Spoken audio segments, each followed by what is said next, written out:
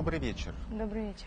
Вы меня до эфира просто сразу озадачили списком табуированных тем. Я сейчас лихорадочно думаю, о чем мы с вами можем говорить. А, потому что о чем мы не можем говорить, я понял.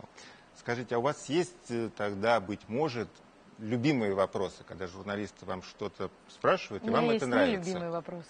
Я про нелюбимые я понял, я, я их- я их задавать не буду. Все это, это мы проехали. Нет, э, я на самом деле могу, ну, люблю разговаривать на разные темы, э, кроме тем, которые касаются вопросов личной жизни, потому что я принципиально считаю, что принципиально считаю, что художник, художник я имею в виду сейчас в крупном, в крупном смысле этого слова, в том числе любые общественные люди не должны разговаривать о своей личной жизни э, в эфире, в журналах, э, в газетах, потому что это все копание в грязном белье, к сожалению. То есть вы считаете, всё что публичных всегда- людей белье обязательно грязное? То есть люди, которые что-то достигли, они обязательно это достигли Любое через... белье, которое лежит в корзине, оно всегда грязное. В меньшей или большей степени. Ага. И когда мы начинаем, ну как бы, когда начинаются мусолиться любые темы личного характера, это всегда мне как-то почему-то неловко. Не, мы в- ваше белье мы трогать не будем, я просто Любое понял. белье. Меня, Мне неловко, когда мои ну, нет, коллеги я, я имею в виду в, про это. в нашей беседе. Просто существует тезис, что если человек выбирает публичную профессию, вот он выходит на подиум, на арену, на сцену, он должен быть готов к тому, что у него появятся поклонники. У него появятся люди, э, любо- вы знаете, какая-то неприятная порода фанаты. Вообще, я имею в виду не поклонники, а вот Почему такие же? Это фанаты. очень приятная Ну, а порода. потому что это именно они постулируют вот этот интерес. Вы поверьте, что Нет, журналисты спрашивают именно безусловно. потому, что существует заказ на это. Конечно, но это Они не хотят значит... знать, кто, с кем, когда и почему.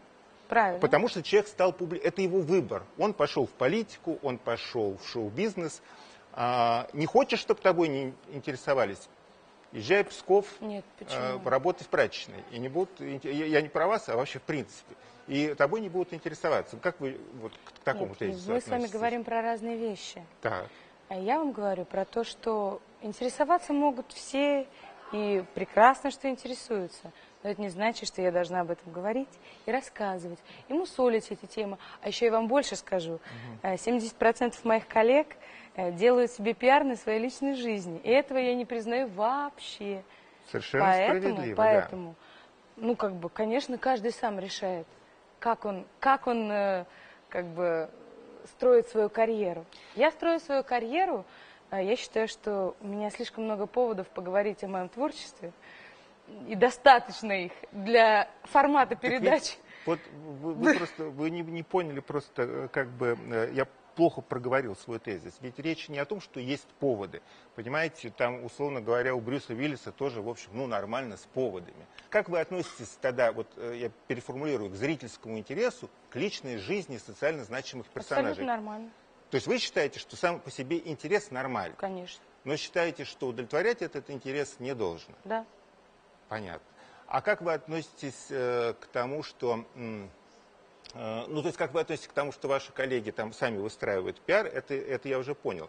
Как вы относитесь к практике, когда э, люди эм, выстраивают свою карьеру э, на личных э, отношениях с кем-нибудь? Ну, с, там, я не знаю, с продюсерами, там, певицы, там, Не Ну, знаю, я по- никак к этому не отношусь. Я больше вам скажу, я даже об этом не думаю. У меня столько поводов и столько... Хорошо, давайте поговорим про ваши поводы. Какой, какой повод вы считаете сейчас самый значительный? Я думаю о том, как, что нужно больше времени уделить своему фонду, который у меня появился вот буквально совсем недавно, в сентябре. Но Ну, это фонд по помощи... э, это благотворительный фонд благотворительный детям с Детям, поражениями, да, да, э, с, органическим, с органическими поражениями центральной нервной системы, Да. фонд «Голчонок». Да, да. Очень много сейчас фондов. Вот как вы относитесь к тому, что у Гоши Куценко сейчас фонд. Вот э, Чулпан Я Хаматова, я понимаю, она, она ведь с вашей подачи, э, с ее подачи ваш фонд, да, в известной степени Ну появился. да. Вот с ней было понятно. Теперь все заводят фонды. Вот э, знаете, как, у- как у Станиславского, не верю. Вот потому что, э, ну, как-то вот мне странно. вы это. не верите, потому что вы этим не занимаетесь, я вам скажу. Потому что любой человек, который, ну, как бы, является не просто лицом фонда, а непосредственно занимается фондом, я вот не верю в то, что он может заниматься этим просто так, для чего-то там, для пиара и все прочее. Поверьте, достаточно сложная работа никакого отношения к э, пиару, к... Ну хорошо, когда, а, когда актер выходит на сцену и даже не может произнести название своего фонда, как Гоша Нет, Куценко, это, это не вопрос. пиар? Нет, это другой вопрос. Я вам говорю, есть две разницы. Есть, э, если Разница человек... может быть одна между двумя вещами. Э, есть, э, ну как бы, два варианта, угу. как бы... Да. Управления фондом. Есть так. лицо фонда, да? Угу. А можно заниматься фондом. Угу. Если ты им занимаешься, я не верю, что это может быть пиар или что-то такое. Потому что человек, который хоть раз пришел в любую из больниц любого фонда, э, не может, ну если он нормальный человек, адекватный, не может этим заниматься просто так для пиара, потому что это слишком тяжело психологически. Ну, люди просто э, разные, то есть вы сейчас э, моделируете по собственным ощущениям, то есть вы а так как устроены. Я, и я вообще вы... весь мир моделирую по собственным ощущениям. Ну, это же неправильно, люди-то очень разные. Ну, я не ну, могу ну, вы говорить там, за всех людей. Я вы возьмите говорю, там, я что... не знаю, маньяка Чикатило. Вы считаете, что если бы он в свое время пришел э, там в детский дом, он стал бы э, заниматься благотворительностью? Я Слушайте, просто хочу сказать, что люди-то очень разные. какой-то чушь. Бога ради меня, извините. Но это полная чушь, потому что, ну, я, конечно, могу говорить об этом мире только с позиции, которая, ну, как бы, с позиции самой, самой себя. А говорить обо всех людях, а в том числе о Чикатиле или, не дай бог, о ком-то еще, я не могу, извините. Нет, вы сейчас как раз озвучили, следует, что никакой человек, бла-бла-бла, так, так дальше. То есть вы сделали вывод за всех двуногих, то есть за всех людей, мужчин, женщин, любых рас, любых э, вероисповеданий. То есть вы берете... Нет, я не сделала ни за чей выбор. Я просто говорю, что я, как человек, так. бывший в больнице, так. не могу, например, по-другому относиться к фонду. Угу. Ну, и значит... мне очень хочется верить, что все люди, которые серьезно как бы, ну, в это вошли, угу. не могут э, этим заниматься просто так. Угу. Не могут. Ну, если они люди. Угу. Другой вопрос, если они чикатилы, как вы говорите, ну, конечно, этим можно тогда вообще... Ну или куценки. Все, что угодно. Можно и... Нет, послушайте, послушайте, я бы так категорично о своих коллегах не отзывалась. Тем более, что ну, это просто неприлично, как минимум. Для Нет, меня. я считаю, что неприлично пиариться на детях. Тема очень больная. Тема очень непростая, тем более в контексте там, последних каких-то инициатив. И мне кажется, что если человек хочет помочь проблеме, помочь конкретному ребенку или детям вообще, он просто это делает. Конечно. Когда он с этого начинает разговор Послушайте, с журналистами... Гоша Куценко не нужен пиар, поверьте мне. Угу. Гоша ну, Куценко достаточно сняться Ну, значит, каким-то другим людям, людям, 3, людям которые, его держат. Понимаете, может быть, э, его именем фонд получает деньги. Это угу. очень тонкий нюанс. И я бы ну вот не говорила. Да бог с ним, обо всем. Его, сейчас, его сейчас нет, но вот вы начали разговор. Вот тем более, того, что... что его сейчас нет, да. и неприлично да. о нем даже говорить. Ну вот вы-то здесь есть, и да. вы начали Можете разговор именно говорить. с того, что для вас это самое существенное. То есть как, как да. бы э, вы актриса театра, кино, певица, насколько, поправьте Нет, меня, если... я не певица. Я Мне казалось, актриса. что вы пели, что у вас Нет, я были пела, но я не команды. певица. Певица это очень громко сказано. Угу. Да. Хорошо. Вот, но вы начинаете с того, что для вас самым существенным и важным сейчас. Момент. Да. Угу. Так. И а, скажите, когда вы были, мы можем говорить про ваше детство, или это тоже относится к категории личной жизни? Несмотря что про мое детство. А, ну, скажем так, э, вы, у вас счастливое было детство или нет? Вот так вот я ну, наверное, детство просто по определению, любое детство, оно счастливое. О, боже мой, что ж вы прям какие-то такие вот просто характеристики. Детство ну... это, Ницше говорил, что это самый несчастный период вообще в э, истории развития человека, детство, потому что когда маленькое существо совершенно не защищено. Ну, я а, так не считаю, я считаю да. по-другому. Угу. Мне кажется, что все равно, как бы, ну, если даже были какие-то моменты, не очень счастливые, то все равно сейчас они уже, по прошествии времени, угу. все равно вспоминаются либо с юмором, либо с какой-то... Угу. Ну да, так было. Кем вы мечтали быть в детстве? Я кем только не мечтала быть, поэтому меня мотало из стороны в угол, поскольку э, в школе я училась неплохо, и мне разного народа, разного рода науки давались хорошо, поэтому у меня был период, когда я, например, дико интересовалась химией, ходила на все там олимпиады по городу, их выигрывала. И решила, что я обязательно буду врачом-стоматологом. М-м. Потом я передумала. Потом я решила, что мне нужно обязательно спасать людей, и я должна э, ни много ни мало поступить в школу МЧС. Потом я решила, что э, потом я решила, что у меня хорошо получается с иностранными языками. И я решила поступить в школу э, в Голицынский, э, в Голицыно есть университет, наверное, он теперь уже, я даже не знаю, тогда Я он был институт. Мгм. Институт э, военный, э, на военный перевод. Потом меня мотало достаточно сильно. Ну, когда вы поняли, что вы рождены для сцены? Да никогда. Вы не считаете, ну, что ну, что значит рождена для сцены? Я всегда была на сцене. Другой момент. Я всегда там с какого-то юного возраста, меня там, ну, не знаю, может быть, с четырех лет воспитательницы водили э, по группам, потому что я пела песни Аллы Пугачевой. Ну вот, а вы говорите не певица. Вы же с четырех лет ну, певица. это так. Певица, певица. Нет, ну действительно, был же в вашей биографии, когда вы выступали с э, командой. Нет, нет, и сейчас есть. У меня сейчас есть Ну, свой так- бенд, который, Да, с которым мы поем. Э, Бенд называется «Ломовой оркестр». Они просто иногда поют, ну, они с разными людьми поют. Вот, например, «Ломовой оркестр» и Юлия Пересильд. Ну, вот так А называется. репертуар какой? Я очень люблю ретро, особенно песни Герман. Вот, вот этих вот времен. Песни Анны Герман, песни... Можете сейчас какую-нибудь одну строчку пропеть акапелло? Любую. Безумно. Есть на далекой планете город влюбленных людей. Звезды для них по-особому светят, небо для них голубей. Ну вот, а говорит, что не певица. Нет, Видно ну, же, что певица певица. это же профессия. Ну, есть профессиональная не певица, профессиональная актриса. Ну, люблю петь. А скажите, кто ваши родители? Они имели отношение к Никакого сфере искусства? отношения Мгм. к в сфере искусства они не имели. У меня единственное, что папа был э, музыкально очень одаренный человек, он мог играть почти на всех инструментах и прекрасно рисовал. Мгм. А вообще нет, мои родители э, никакого отношения к выбору моей профессии не имеют. А, то есть вы такая была самостоятельная девочка, Да. взя- взяли для себя и решили, что будут Да. стоматологом, потом не будут стоматологом? И- Ну, вы знаете, как-то мне родители достаточно рано дали возможность самостоятельно принимать решения, за что я им очень благодарна. Мгм. А вы единственный А именно в ребенок возрасте 11 лет. Вы единственный, да, единственный, ребенок? А да. почему в возрасте 11 лет что произошло? Ну, почему-то я так помню. В возрасте 11 лет я стала самостоятельно принимать свои решения. Мгм. И, то есть, вы вообще даже не обсуждали это с, э, с отцом, с Нет. матерью? То есть, для себя... Нет, ну как? Ну, безусловно, родители волновались. Они вообще не знали, что я уехала в Москву и что я поступаю, поэтому они узнали уже по факту поступления. Мгм. Тем более, что я училась один год э, в Вы не с- филологическом... не сразу поступили, Да, да, я в первый год не поступила и училась э, год на филологическом факультете Мгм. Псковского педагогического института. Но потом забрала документы и уехала поступать. А родители узнали уже в момент, когда я поступила. То есть вы не- неудача при поступлении вас совершенно э, как бы ну не обломала. То есть вы достаточно уверенный получаете в Ну, себе как человек. сказать? Конечно, если сказать сейчас, нет, меня не обломало, конечно, внутренне ну, было как-то досадно.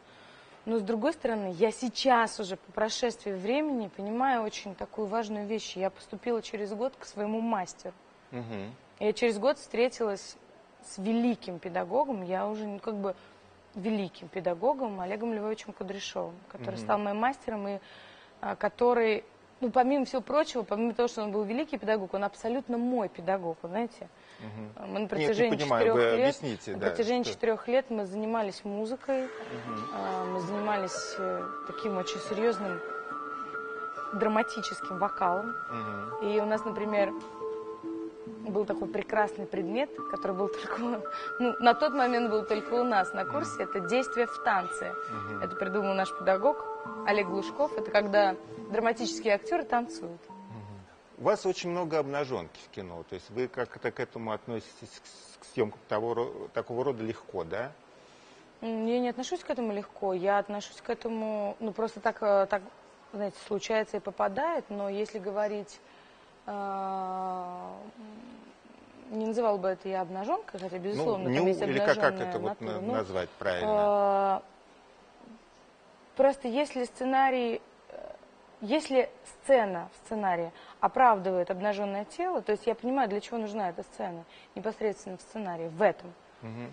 Если режиссер меня может убедить в том, что, ну, это да, это нужно для чего-то там. Мне не нужно показать там филейные части твоего тела, а мне нужно, чтобы вот был вот такой вот эффект. Тогда я на это соглашаюсь, потому что на самом деле предложений гораздо больше, чем кажется. Предложение именно такого рода или в принципе предложение Нет, сниматься? в принципе, предложение сниматься обнаженной. А, вот. Как раз напротив, А, сниматься обнаженные и оправдывать это, а, оправдать, для чего это нужно, как правило, все заканчивается, ну, и все. Я говорю, ну, понятно. Тогда спасибо. Ну, хорошо. А как вы вообще относитесь к ну, тому, что э, актрисы, ну, ведущие мировые актрисы, даже мы не про отечественных говорим, они достаточно легко снимаются в э, журналах э, без одежды. Потому что, ну, женское тело это просто красиво. Вы считаете, это- же там не Ну, вот оправдано никаким сказать. сюжетом. Нет, Э, вот э, я это могу просто сказать, тело что в данном ради случае мяса. я такой, ну, Консерватор. консерватор. Нет, я не снимаю для мужских журналов, хотя, ну, достаточно много у меня предложений от них Мгм. было и, может быть, будет, может, не будет. Но меня это как-то не очень интересует. Потому что, ну, одно дело, опять же, тут, тут есть очень тонкая грань. Есть Юля Пересиль, актриса, которая играет роли. И когда мы видим в кино, да, для меня это очень важно, например. Мгм. Там раздевается персонаж, там не я раздеваюсь. М, Понятно, да. А, а вроде бы, приходя на съемку журнала, это должна быть Юля Пересильд. И для меня это, например, неприемлемо. Я не понимаю, зачем мне это нужно. Я не понимаю, просто зачем мне это нужно. Что для себя я могу в этом найти интересного. Ну, люди будут восторгаться, смотреть, любоваться вами. Это так мало. Мало, когда лю- любоваться. люди восхищаются вами, это мало. Ну, понимаете, если бы я ничего другого не могла, Мгм. да, ну, наверное, пришлось бы мне пойти и в мужские журналы тоже. Чтобы, ну, как бы есть О, другие вы всех, всех сейчас своих коллег, которые снимаются в мужских журналах, этим просто убрали. Нет, Получается. почему? Нет? Это нет, почему же? Это разное мировоззрение. Это как бы я вот так считаю, как бы, что мне достаточно что-то делать другое. А кто-то, может быть, считает, что это вообще прекрасно, круто. Тут же дело такое, знаете, кто как бы у каждый, у каждого свои, свои рамки. Понятно. Мне рамки не позволяют сниматься в этих Вам журналах. Юрий Пересильд не подает. А что за фамилия такая? Ну, необычная фамилия.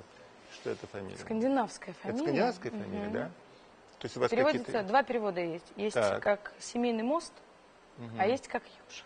Мгм.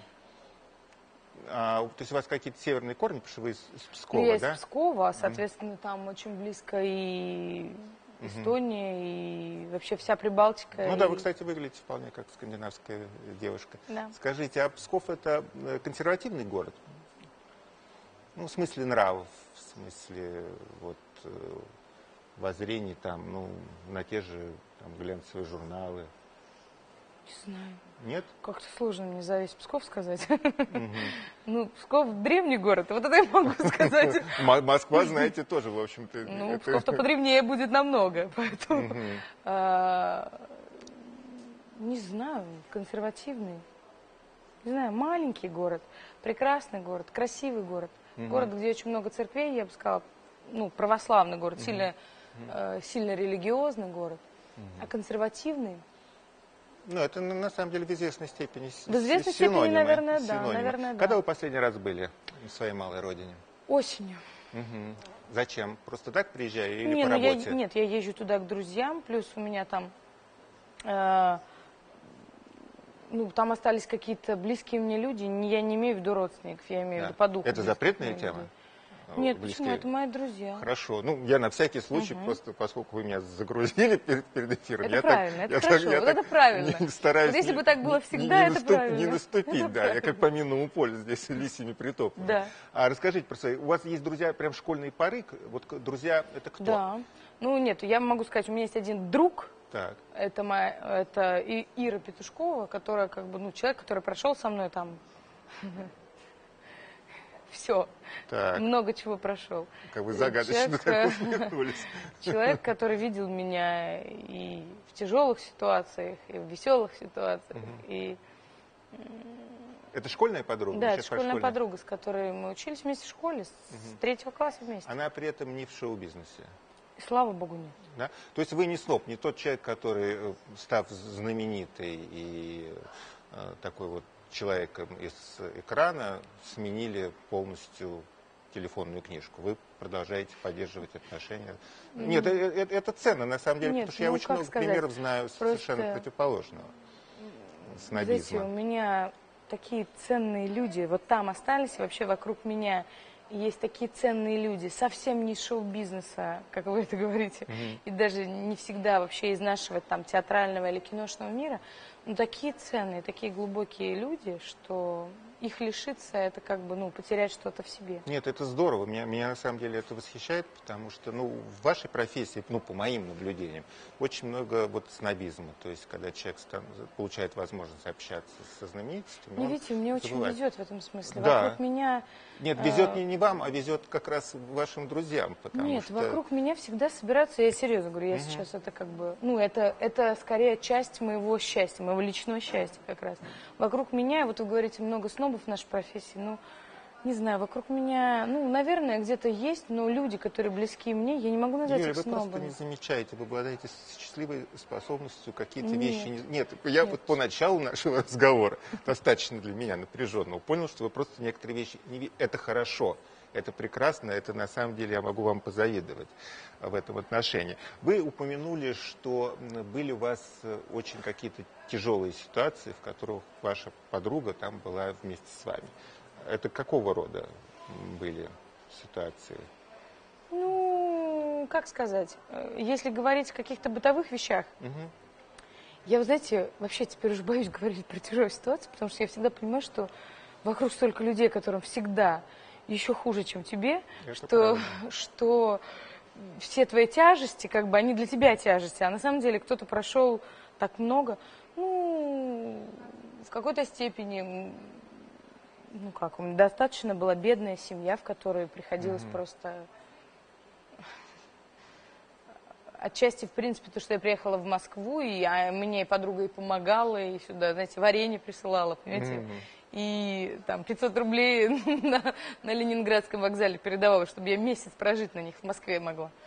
Ну, если говорить вот про такие вещи, безусловно, такого было много. А сейчас у вас быт, как бы, все проблемы решены бытовые? То есть вы упомянули, что вот, ну, бытовые просто были трудности на уровне там поесть, попить. Сейчас таких сложностей нет. ну поесть, нет? попить, слава богу, сейчас нету. Но я, как человек, который когда-то это пережил, всегда, э, мне мама очень над этим, ну, как-то так иронизирует, потому что я всегда очень спокойно как бы говорю, ну, давайте сейчас куда-нибудь поедем, потому что потом можем и не поехать. Mm-hmm. Говорю, почему ты так все время говоришь? Я говорю, ну, потому что неизвестно, потом, может быть, я никому буду не нужна и все прочее, и не нужна буду в профессии и все прочее. Господи, ты такие каждый раз, ты все время об этом думаешь? Я говорю, да я не думаю об этом, просто я к этому очень нормально отношусь. Для меня, например, не существует вопроса, знаете, там, как сказать, вот накопить, приобрести что-то. Для меня вот этих вопросов вообще не существует. Я в какой-то степени живу сегодняшним днем. То есть Надо... Вы сибарит, да, то есть вот ну, сибарит вы, вы, не думаете, вы не думаете о завтрашнем дне, Я получается. думаю о завтрашнем дне, так. думаю, безусловно, о завтрашнем дне. Но у меня нету, знаете, вот этого желания заработать всех денег разом, угу. как бы, да, и нет вот этого желания, э, ну, слава богу, что нет, это как бы, я только хорошо, потому что с этим очень тяжело жить. И я очень спокойно отношусь к тому, что сегодня есть деньги, а завтра их нет. Угу. И я как бы внутренне готова к этому, что сегодня они есть, а завтра их нет. Сегодня есть какие-то блага, а завтра их нет. Сегодня есть работа, ну а завтра, может быть, ее и не будет. Ну, в, актерской профессии это То вообще, есть я внутренне всегда себя к этому... Ой, извините. Я внутренне себя всегда к этому готовлю. Что завтра могут сказать, вообще, ты ужасная актриса, и ты вообще просто отвратительная. И не пусти тебя ни на один канал, например. Я внутренне всегда себя к этому я желаю вам э, всех благ, много путешествий. Это отлично, что вы не забываете Псков, э, успехов вашей благотворительности, но прежде всего вы, конечно, актриса, ну, с моей точки зрения, а, и красивая женщина. Я желаю вам оставаться красивой всегда и желаю успехов на вашем поприще. Всех вам благ. Спасибо.